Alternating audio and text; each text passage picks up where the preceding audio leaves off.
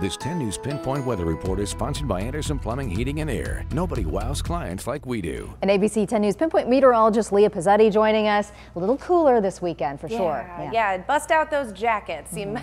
You're going to need them through the morning, maybe even into the afternoon. Definitely a cooler outside today. You can see live look from our Coronado sky camera right now. Definitely feeling those clouds hugging our coast right now. But as we move inline, inland, looking at our Alpine sky camera, you see those blue skies. Uh, if you want to escape the clouds, hey, maybe head inland, go visit our valley communities. Um, heading into tonight, we're going to see fairly mild conditions, 50s and 60s for most of our overnight lows for tonight with that cloud coverage building, that marine layer building. So in the next few hours, we are going to see the marine layer build and into tonight, we actually could see some patchy drizzle. So uh, if you see a little bit of light rain overnight tonight and tomorrow morning, that's because of how dense this marine layer is. It does look to clear by tomorrow afternoon. Could see some sunshine emerging by the afternoon, but also could see some passing clouds as well. Uh, so pretty similar to what we felt today, a little bit gloomy, a little bit cool, uh, but could see a little more sunshine tomorrow. Temperatures though fairly mild, pretty similar to what we felt today. So that does mean mostly 60s along the coast, some 70s though. Oceanside looking to get up to 70 degrees.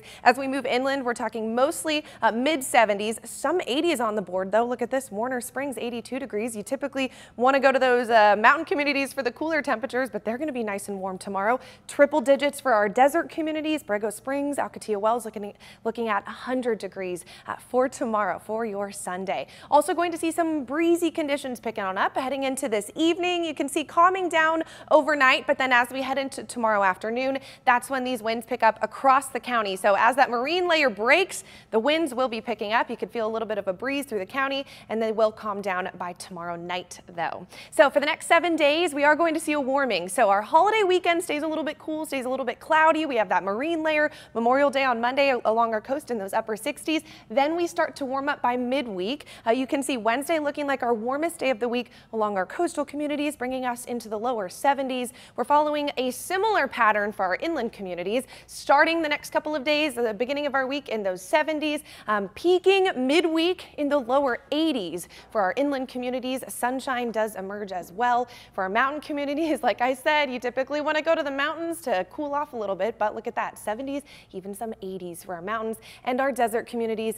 Uh, maybe, hey, if you want to sweat a little bit, go there, triple digits. it's going to be a very warm week for our desert communities, uh, seeing those triple digits through the next seven days. So uh, cooler, cloudier mm -hmm. today, but the heat definitely will make a comeback by midweek. We'll make a return. All right, thanks, Leah.